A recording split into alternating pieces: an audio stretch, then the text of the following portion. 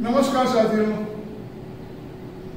मैं हूँ कमल सरमाराही और आप देख रहे हैं डाइट बारबीर द्वारा संचालित YouTube channel diet education Barbir ji हाँ बात चल रही थी क्लास दस के सामाजिक विज्ञान की।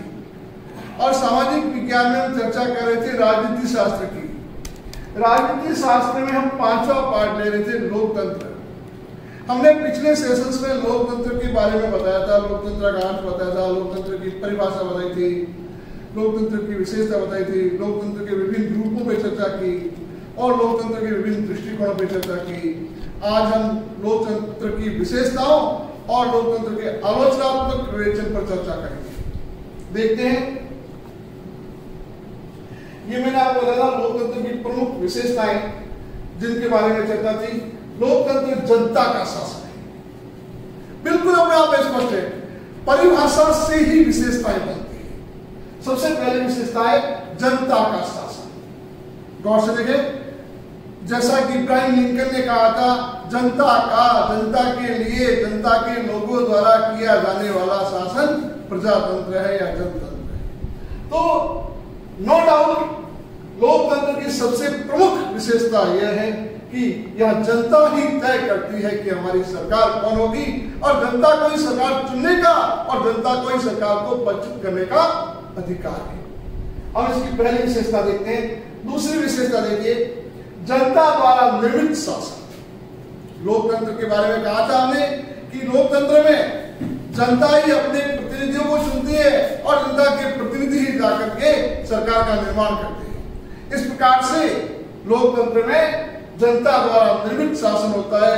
और यह भी कहा गया था कि यहाँ जो सरकार के नुमाइंदे हैं, वह केवल न्यायश्री या ट्रस्टी के रूप में, वह केवल सरकार की देखभाल करने वाले हैं, न कि वह शासन करने वाले। उन्हें शासनकर्ता नहीं कहेंगे क्योंकि अंतिम संप्रभुता जो है वह केवल जनता के हाथों में ही होती है।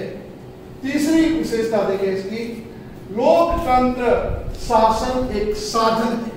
दो चीज़ें होती है, साधन और साध्य। गौर से देखिए, लोकतंत्र एक साधन है, साध्य नहीं। इसे साधा नहीं जा सकता लोकतंत्र के माध्यम से शासन किया जाता है। हमें यह विशेष तौर से देखना होगा कि लोकतंत्र में जो जनता है, वह प्रत्यक्ष रूप से अपने प्रतिनिधियों को चुनती है और अपने प्रतिनिधि ही आगे चलकर शासन करते हैं और उनके जो भी निर्णय होते हैं, वो जनता के हित में होते हैं। अब यहाँ किसी भी प्रकार का कोई जाति, वर्ण, वर्ग, लिंग, भेदभाव नहीं होता है। तो यह अपने आप में कहेंगे कि लोकतंत्र को साधन के रूप में लिया गया है। साध्य के रूप में नहीं। अगर देखिए जनता के प्रति उत्तरदायी शासन, जैसा कि आपसे पहले कहा था लोकतंत्र एक ऐसा शासन है जिसमें संप्रभुता तो जनता के हाथों में होती है और सरकार के जो नुमाइंदे हैं, सरकारी कारिंदे हैं, या यूँ कहेंगे जो नौकरशाही प्लस राजनीति के लोग हैं, वे किसी न किसी रूप में सरकार के प्रति उत्तरदायी रहते हैं। तो बिल्कुल स्पष्ट लिखा है जनता के प्रति उत्तरदायी शासन।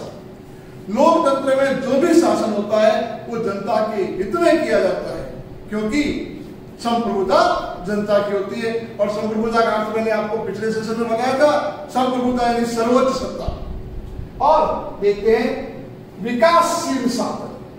लोकतंत्र विकासशील शासन है। विकासशील कहूँ या विधि का शासन। विधि को जानते विधि का कानून। तो लोकतंत्र विकासशील लोकतंत्र में यह हमेशा जनता के हित में ध्यान रखा जाता है और जनता के हित को देख करके निर्णय लिए जाते हैं और जनता की रुचि, जनता के भावों, जनता के अधिकारों के रक्षा के लिए और निरंतर प्रोग्रेस करते हुए शासन किया जाता है। तो यहाँ जो शासन है, लोकतांत्रिक शासन है, यह एक कानून सम्मत शासन या कानूनी दृष्टि से किसी के साथ कोई भेदभाव नहीं किया जाता और न ही किसी को कोई विशेषाधिकार प्राप्त है।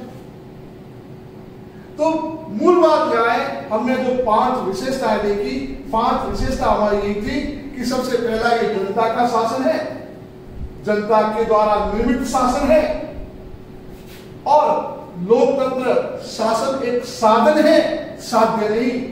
जनता के प्रति ये उत्तरदायी शासन है और लोकतंत्र विकासशील शासन है, विधि का शासन है, अर्थात कानून सम्मत शासन है। या कानून की दृष्टि से सभी को समान रखा गया है। किसी के साथ कोई असमानता या विशेषाधिकार नहीं है। आगे बढ़ते हैं। देखिए, अब आती है लोकतंत्र की आलोचनात्मक विवेचना। आलोचनात्मक विवेचना में हम दोनों पक्षों को देखेंगे। समालोचना करेंगे तो लोकतंत्र के गुण भी देखेंगे, लोकतंत्र के दोष भी देखेंगे। जहाँ कई विद्वानों ने लोकतंत्र के बहुत सारे गुण बताए हैं तो कई विद्वानों ने लोकतंत्र की कुछ कमियाँ भी बताई है। तो यहाँ लोकतंत्र के बारह गुण हैं। हमारे इस सेशन में हम छह गुणों पे विस्तार से चर्चा करेंगे। अगले सेशन में और लोकतंत्र के जो प्रमुख गुण रहेंगे छह। उनको और लेंगे। तो सबसे पहला देखिए एक एक को थोड़ा गौर से समझिए और पॉइंट आउट करते रहिए। तो सार्वजनिक हित में वृद्धि यानी कि लोकतंत्र से हमें क्या फ़ायदे हैं? जनता को क्या फ़ायदा है? सरकार को क्या फ़ायदा है? तो सबसे पहला आता है सार्वजनिक हित। अब जानते हैं सार्वजनिक। सभी के लिए। लोकतंत्र में सभी के हितों का ध्यान रखा जाता है। चाहे वो गरीब हो, चाहे अमीर हो किसी जाति, वर्ण, वर्ग, लिंग का हो, किसी के साथ किसी भी प्रकार का भेदभाव नहीं किया जाता है और न ही किसी को विशेषाधिकार दिया जाता है। मूल रूप से हम देखेंगे, सार्वजनिक हितों में वृद्धि होती है। अगर लोकतंत्रात्मक शासन नहीं है, अब राजतंत्र था तो वहाँ राजा की दमनात्मक शक्ति होती थी। या लोकतंत्र में कोई किसी का दमन नहीं कर सकता है। दूसरी बात जहाँ पर आप तो पॉइंट देख रहे हैं तो कार्य कुशल शासन लोकतंत्र एक पारदर्शी शासन, जहाँ जो कुछ होता है वो सामने है इसलिए कहीं भी यह नहीं कह सकते कि कोई भी निर्णय जो है हमारे, वो निर्णय किसी से छुपे हुए होते हैं। तो यह कुशल शासन है, क्योंकि इसमें जो सरकार चुनी जाती है, वो जनता द्वारा ही चुनी जाती है।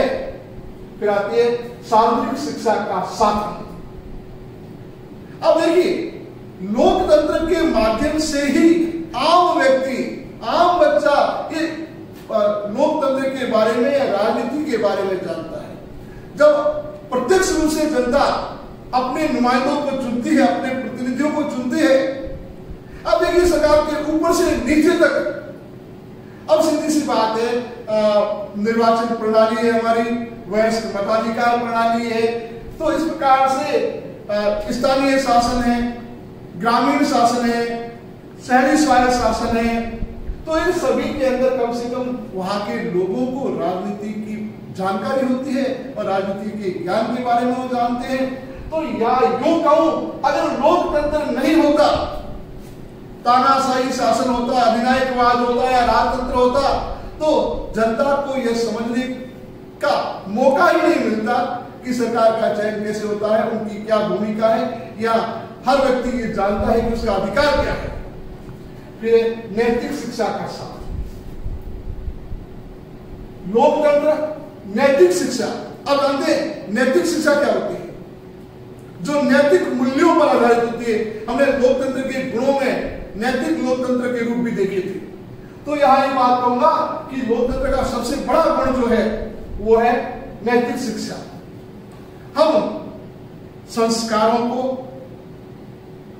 हम आपसी भाईचारे को, प्रेम भाव को प्रजातांत्रिक तरीके से सीखते हैं तो लोकतंत्र नैतिकता की एक शिक्षा है। और सबसे बड़ी चीज़ आती है, लोकतंत्र देशभक्ति की शिक्षा प्रदान करता है। क्योंकि लोकतंत्र में हर व्यक्ति अपनी अपनी जिम्मेवारी समझता है। हर व्यक्ति जानता है कि मेरा अपना अधिकार क्या है, मेरे अपनी दायित्व क्या है? जब व्यक्ति अपने कर्तव्य और अपने दायित्व को अच्छी तरह से समझता है, हम आगे चल करके ये पढ़ेंगे, आगे चल करके देखेंगे कि हमारे अधिकार क्या है। संविधान ने हमें कुछ अधिकार दिए हैं जिसको मौलिक अधिकारों के नाम से जानते हैं। तो संविधान ने कुछ कर्तव्य भी दिए हैं, संविधान ने कुछ हमें नैतिक नीति निर्देशक तत्व भी दिए उन सभी का भी आगे अध्ययन करेंगे। तो राष्ट्र भावना की जागृति में लोकतंत्र की महत्वपूर्ण भूमिका है। क्रांति से सुरक्षा। जब लोकतंत्र है तो क्रांति की कोई बात ही नहीं चल सकती। राजतंत्र होता तो आपस में लड़ाई झगड़े की बात होती थी यहाँ कोई लड़ाई झगड़ा ही नहीं कोई क्रांति की संभावना ही नहीं है। अब सीधी सी बात है निर्वाचन होता है, जनता अपनी सरकार को चुनती है, जनता को जो सरकार अच्छी लगती है, उसे चुनती है, और वो सरकार अपने निर्धारित समय जैसे भारत में पाँच साल है। वो निर्धारित समय तक शासन करती है और वह जनता की भावनाओं को ध्यान में रखकर शासन करती है। तो यहाँ पर कहीं भी क्रांति विद्रोह की संभावना बहुत ही कम होती है। जैसा कि बाकी शासन प्रणालियों में विद्रोह या क्रांति की संभावना रहती है। तो साथियों, हम पढ़ रहे थे लोकतंत्र के प्रमुख गुण, और ये था लोकतंत्र के आलोचनात्मक विवेचन के अंदर। जब लोकतंत्र के बारह बारह गुण पढ़ेंगे उसके बाद दोष पढ़ेंगे आज इस वीडियो लेसन में लोकतंत्र के छह गुणों पर चर्चा करूँगा। अगले सेशन में हम आगे वाले गुणों पर चर्चा करेंगे, उसके बाद दोषों पर चर्चा करेंगे और यह पाठ हमारा पूरा हो जाएगा। आपसे अनुरोध है, आप हमारे चैनल के साथ बने रहिए और हमारे चैनल गाइड एजुकेशन बाड़मेर को सब्सक्राइब करिए ताकि हमारा हर नया नोटिफिकेशन आप तक पहुँच सके। और आप हमारे एक्सपर्ट द्वारा तैयार किए गए को लाइक करें शेयर करें, ताकि इस महामारी के समय में घर बैठकर विद्यार्थी इसका अधिक से अधिक फ़ायदा उठा सके। और हमारे वीडियोस को देखकर आप कमेंट्स करें, ताकि हमें नई ऊर्जा मिल सके।